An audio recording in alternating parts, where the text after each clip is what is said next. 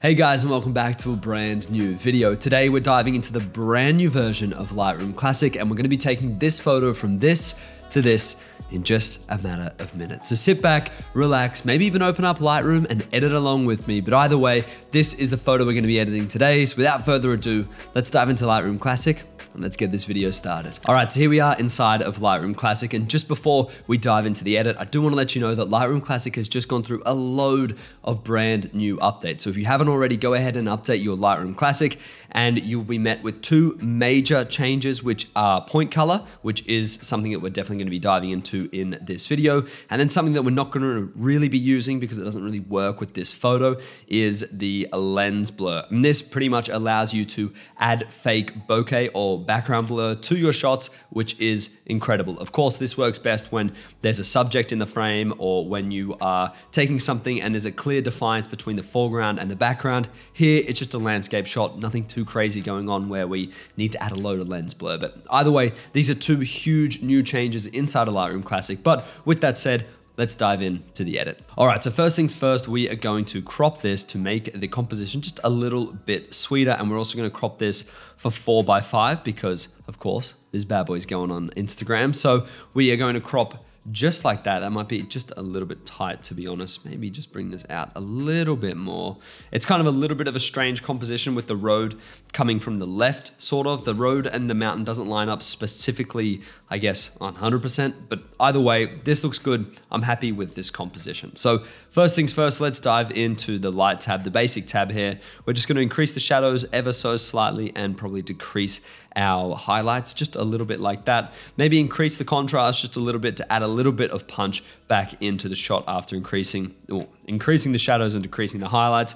We're gonna come here and drop the texture, or drop the clarity and the texture, just like that. And then we're also just gonna increase the dehaze just a little bit, a little before and after, just like that. Of course, nothing too crazy going on at this stage. It's just correcting the image and giving us a great base to start with. So that is the basic tab more or less wrapped up. We can now dive into the tone curve here, where we are just gonna lower the shadows, increase the highlights just a little bit here, and then we're gonna raise those blacks. When you raise the blacks on the tone curve, this just gives a really nice black fade over the entire dark part of the image, which is something I absolutely love. Of course, you don't wanna push this too far. If we do increase the, uh, the, the blacks of the tone curve a little bit too much, it gives it too much of a fade. I like sitting somewhere just a little bit up from absolutely nothing. And I think things are looking pretty cool here. All right, now on to the fun part of this edit, the color mixer. Now, like I said, we've got our usual HSL sliders here. So you got the hue, saturation, and luminance sliders just here. But if you head over next to mixer to point color,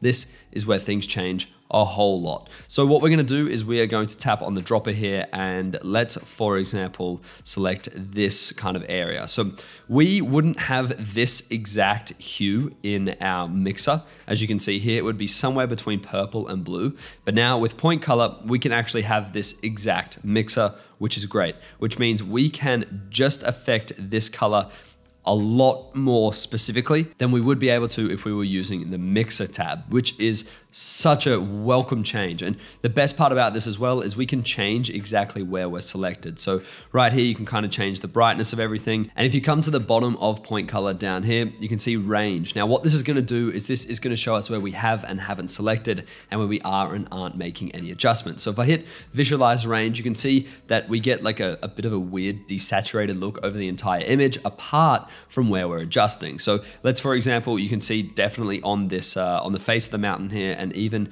on these little bollards on the road here, if I check this off, you can see everything gets saturated again. If I check it on, everything gets desaturated apart from where we are selected. And then of course we can increase or decrease where we're selected. So this is the range, you know, of course, if we want more selected, we can increase our range. If we want less selected, we can decrease our range. But what I'm gonna do here is I'm just going to desaturate just a little bit and maybe also increase the luminance ever so slightly. We can then turn that back off and then if we hit this, just like that, we can really start to select and play with certain colors. Now, of course, this is gonna be best used in tandem with the color mixer tab. So of course, don't just isolate and go all on point color. This is gonna be best used when you're balancing both of them out. And that's exactly what we're gonna be doing. So one of the other colors that I want to select here is just here.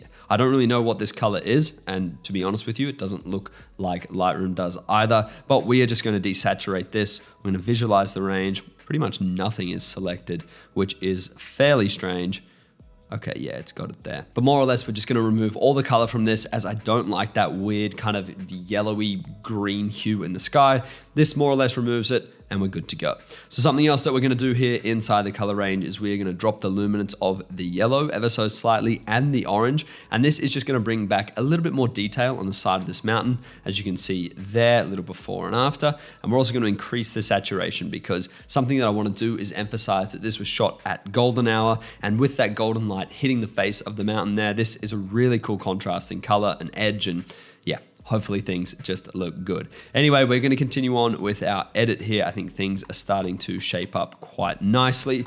Yes, the edit is somewhat subtle, but just wait for the masking section of this video. Believe me, that is where all the magic happens. We're then gonna come in here, desaturate our blues ever so slightly. We're gonna pretty much kill off all the purples and we're gonna turn a lot of the purples into blue as well. We are definitely trying to sell that orange and teal look here as I have a feeling that this is the perfect photo for it. And more or less, that's our colors sorted. We're gonna add just a little bit of blue into the shadows here. I know that already looks fairly crazy, but we're gonna dial it back. I feel like just a slight tint, slight hint of certain colors in certain regions definitely make for the better edit. I'm really not a fan of, you know, flooding the shadows with blue. I just like dialing it right back so it's super, super subtle. And um, yeah, I feel like that's where I get the best results by far. All right, we are looking fairly nice here. Maybe dial this back a little bit more and I am very happy with our colors. I have a feeling there's a little bit of a purple hue over this entire mountain range here. So what we might do is come in here and just adjust the blues a little bit. We're gonna desaturate them as well. Maybe increase the luminance just a little bit. All right, things are looking tasty. Now I'm gonna dive past uh, the detail. I don't sharpen my images whatsoever, and I don't need to use any denoise features because this was shot at 320 ISO. The lens correction is already sorted, which is perfect. And if we disable this, you can see that there's quite a lot of warping in vignette. Lightroom's handled that, it's taken it away for us. I like the, the whole way this, this photo looks to me. I don't need to adjust it whatsoever. Let's move on past the lens blur. Once again, we don't need to touch this at all. Effects, we're gonna do all of our vignettes and all of our, I guess, light directing in masking, so we don't need to touch this. And then in calibration, this is our last tiny little effect where we're gonna be changing the colors. I'm just going to be dialing the blue hue primary over to the left and we're gonna be saturating it just a little bit. And more or less, we're gonna be doing the same thing on the green here and the opposite on the reds. A little turn this one off and turn it back on. It's super subtle, but to me, it makes the difference. All right, so this before, after is our edit so far. Now we dive in to the fun part, and this is where the masking happens. So first things first, like I said, we're gonna take control of our vignettes. I'm gonna just make a radial filter over the entire image. I'm then going to invert it, which is how we can select the outside of the uh, outside of the mask here, and then we're just going to drop our exposure. Now this is not going to be the only mask we add, believe me. We are then going to come to the road down here, and we are also going to be dropping the exposure here. And this just helps you kind of focus in on the mountain a little bit harder. If we just turn this off, as you can see, a little bit more distracting, a little bit less distracting. And this is exactly what we're after. And the same thing with this one here. It just kind of helps the eye focus in when the viewer sees the shot. All right, so things are looking pretty tasty, but we are far from done. We're gonna add another radial filter over here from where the light is coming from. And then we're gonna scroll down to dehaze, which is just here and we are going to drop the dehaze ever so slightly and we're also going to increase the exposure to kind of sell that the light is coming from this direction. Now obviously that's kind of washed out this up here which is not what we want to do so we're about to go and fix that and oh I also want to come in here and drop the clarity as well. Now if we come back into our normal tab out of the masking tab we are going to just drop the luminance of the yellows and the oranges and then we're also going to increase the saturation on both of those to bring back those colors. Before and after, things are starting to shape up. I'm getting very happy with this edit. I know it's subtle, but this is the thing about photo editing. You don't always have to go up and over the top and make sure everything looks crazy and it's popping and it's wild. Something subtle, just like this, is sometimes all you need. And as you can see, it's not easily done. If you do want it to be easily done, you can go and check out my master collection of Lightroom presets. They're linked down below and you can use this discount code at the checkout for a cheeky little discount. So if you want to save yourself a load of time and get very similar results to what I'm getting right here, you can do so. Go check out my presets and let me know what you think of them down below. But back to the video now where we're just gonna change a handful more things and I think we're gonna be done with this edit. First things first, I'm going to increase the aspect here, which is just gonna squeeze the mountain up just a little bit. And as you can see here, we've now got this beautiful line that we're gonna have to deal with. So we're just gonna increase the crop on this side and increase the crop on this side and a little bit more.